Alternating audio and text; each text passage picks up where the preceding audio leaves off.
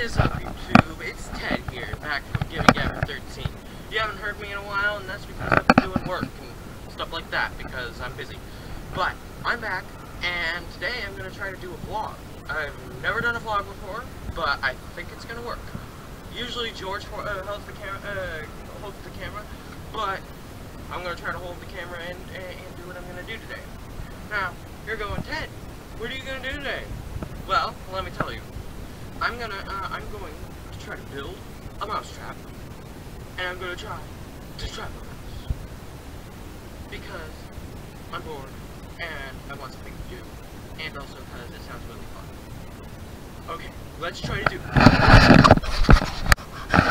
Now you're gonna probably be, uh, be asking, how am I gonna be able to trap a mouse? I don't have any, uh, mouse traps laying around. Usually people in Washington don't have mouse traps, but Hey, I'm going to try to do it. So, first thing you need is an idea. I've already got one of those. Got tons of those up there, up here. Um, but the idea that I have is, you'll, you'll see what it is. It's, it's pretty good. The first thing that we're going to need is wood. Now, my dad is awesome.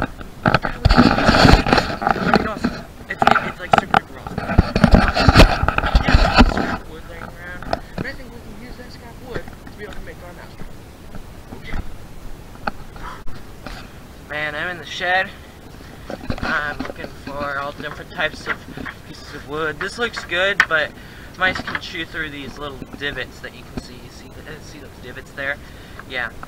So mice can chew through that. But these thicker pieces of wood that are like super thick and hard, those pieces would be good. Those pieces would, uh, will be really good.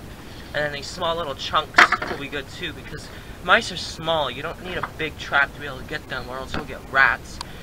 And rats are weird. I mean, no offense to people who love rats, but I just, I, I don't, uh, I don't like them. So, I mean, we got quite a few pieces of wood here. And I'm going to try to draw out my ideas on them and see what will happen. Okay. So I'm out here in the shed, and I just wanted to show you the um, ideas that...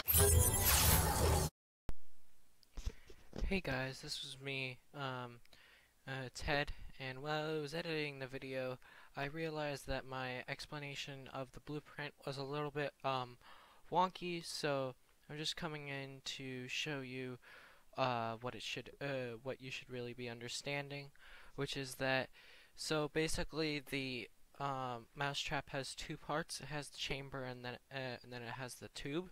The tube is the smaller front part that you see in the side view, and the chamber is the larger uh, part with the circles and slashes if you're looking at the side part.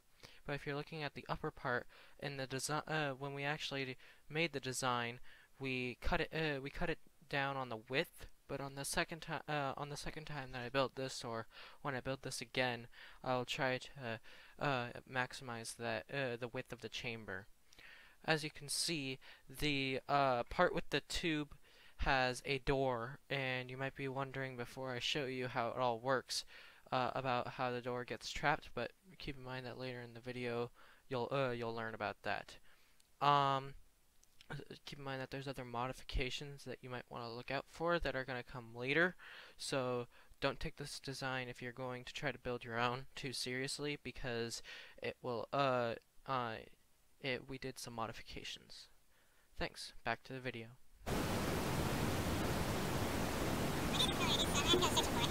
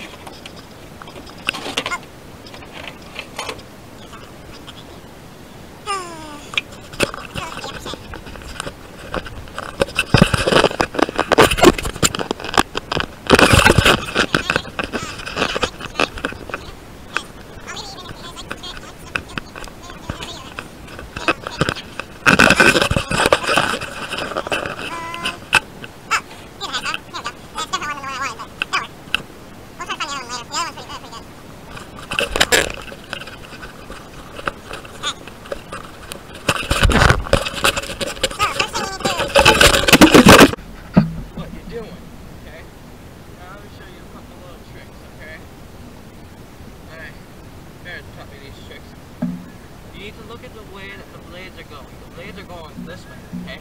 Meaning that it's going to hurt more when you're going with a downward stroke, like this.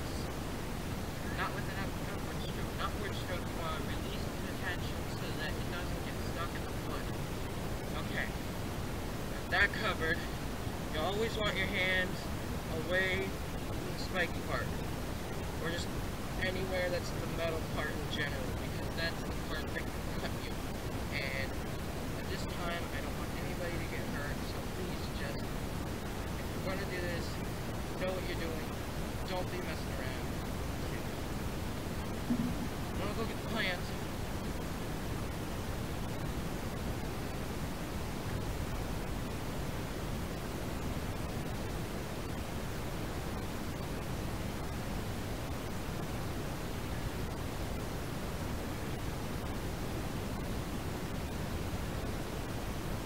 This is a trap that they can call an accumulative trap, meaning that it can ca uh, catch more than one mouse at a time.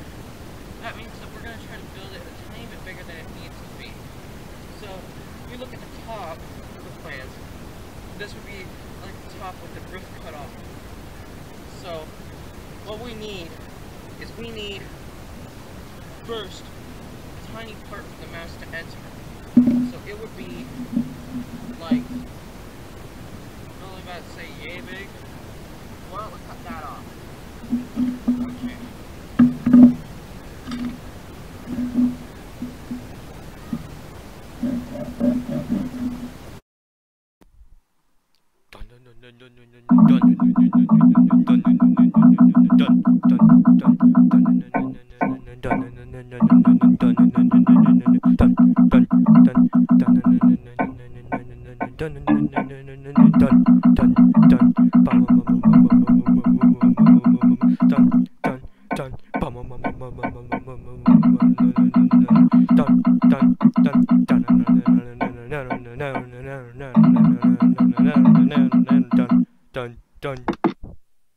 Ladies and gentlemen, that was a lot of work. Like four hours to, to finish that. But the mousetrap is finished. Now, due to some circumstances, uh, disappointingly, we weren't able to film while making the trap. So, yeah, this is this is the finished version.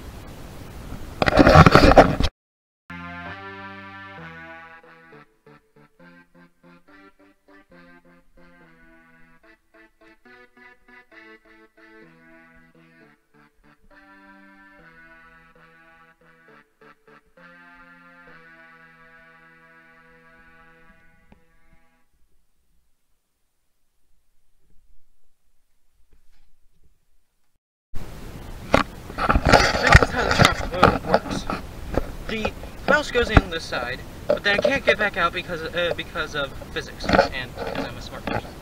Um, then it gets stuck uh, stuck in here. And don't worry, there are air holes as you can see from uh, that. Then back here we have the release, which has a pin so that I can pull that out, and then I can just pull this door off. takes a little bit though, but then it easily slides out. And as you can see, I've already put bait inside for it because mice love um uh, love uh, sunflower seeds. So that's the trap. Now we're going to go and set it up. See if we can uh, catch any mice. I gotta hold it straight though so that the bait doesn't come out. Oh boy, this is gonna be fun. It'll only probably take like a day or two. Uh, the reason I say two is because if it doesn't work the first night because they're like super scared of it, it'll definitely work the second night. So, as you can see, there's lots of tall grass around here. Let me show you. All this tall grass. The tall grass will, uh, well, uh, it's good for uh, mouse nests, for them to uh, like make families and stuff like that, um, and be able to like hide out from humans and all that kind of stuff. So the, so the trap's gonna be down here. Mouse is gonna go, oh, I want some food. Then they're gonna go and they're gonna go in here. They're gonna get trapped, and then they won't be able to get out until I uh, until I release them in the morning. So yeah, let's set up the hunting camera so that we can uh, see what happens. See if the mouse escapes, or if it, it goes in there, Or maybe even if we get a squirrel, because it's big enough to get a squirrel. The next day. Ladies and gentlemen, it is the next day, and I want home. Let's see what we can find in our mouse trap. It is like 7 o'clock in the morning. I just woke up, and, uh, uh, and I haven't even had breakfast yet. I am so excited to see what we caught. Alright, so we're traveling up to the the mouse trap. Looking stuff. I mean, hey, if, if there's nothing in there, I at least want to see uh, if the mice ate, it, ate the seeds or something. So, yeah. The mouse trap Jeez, the, uh, the prison camera fell over again. It fell over twice then. Cracks. Let's see. Whoa, it feels heavy.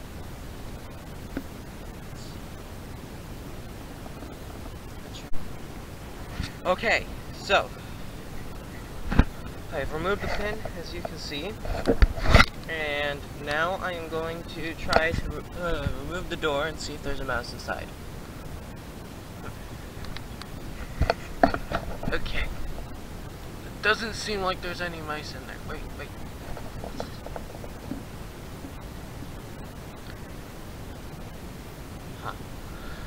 Nope. Doesn't seem to be a mouse inside. Uh, inside. Okay. Well, I'm gonna review the hunting cam footage and see what we got. Alright, I'm gonna reset the mouse trap so that we can go tomorrow night. I mean tonight. And if this doesn't work, I'll set it up like down towards a different area or something.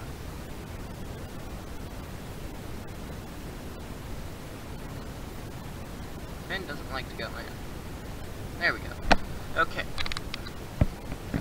Maybe I didn't have a big enough lure.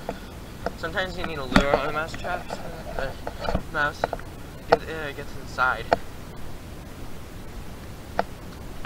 I'll leave it at today uh, to just get a full cycle, but tonight I'll uh, I'll put some more seeds there. But after I view the footage and if, and review what happened last night, then I think that'll be a wrap for this episode. So yeah, I reviewed the footage from the uh, from the um, hunting cam, and I'm I'm sure I'm gonna put like one or two clips in, but it just seems like it fell over, and it doesn't seem like anything came into the trap, which either means that we don't have mice or uh, up there, or um, I just need to do uh, need to do better on my setup. I think I'm gonna set it up a different uh, in a different place next time I film, and I'm gonna see what I ca uh, catch. And so yeah, thanks for uh, thanks for watching my video on me uh, making a mouse trap. Uh, tune in next uh, next week for a uh, for uh, to watch me uh, see if I can catch another mouse, and also to see uh, if hmm what should I do? Comment down below of what I should do next week, because you know I have uh, I have lots of time on my hands.